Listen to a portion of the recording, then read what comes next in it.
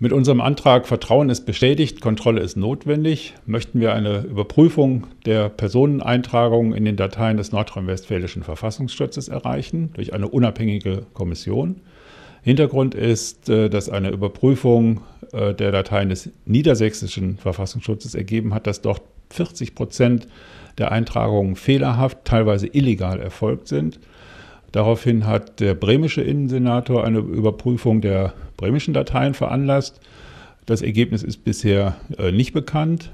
Wir möchten hier, dass in Nordrhein-Westfalen die Daten des Verfassungsschutzes überprüft werden. Wir hatten letztens noch durch eine kleine Anfrage herausgefunden, dass hier über 534.000 Personendaten gespeichert sind. Die müssen überprüft werden. Das ist der Hintergrund unseres Antrags. Wir fordern transparente Ergebnisse und Mitteilungen an die Betroffenen wenn fehlerhafte Eintragungen festgestellt wurden.